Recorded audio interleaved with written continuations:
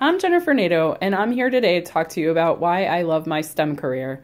I am the horse specialist and also an associate professor at the University of Connecticut.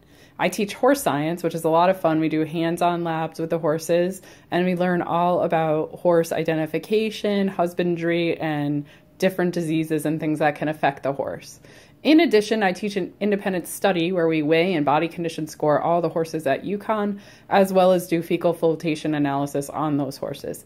I also help work with other independent studies uh, students, and they help me with my equine extension activities, which involve things like giddy up games, the horse and stride workshop, and our state contests in hippology, horse judging, and many other activities.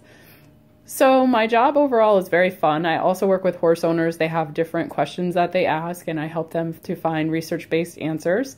And I conduct the Connecticut Horse Symposium. So, it's very busy, but what I love best about my career is that every day is a little bit different, and students are very inspiring. They're always full of energy and enthusiasm, which is great to work with. And the general public really loves their horses and wants to learn more. So, there's nothing really that could be better than going to a job every day like that. I usually rush in to get to work, but not dangerously. So thank you very much, and um, I hope you find a career that you will enjoy in STEM if you haven't already.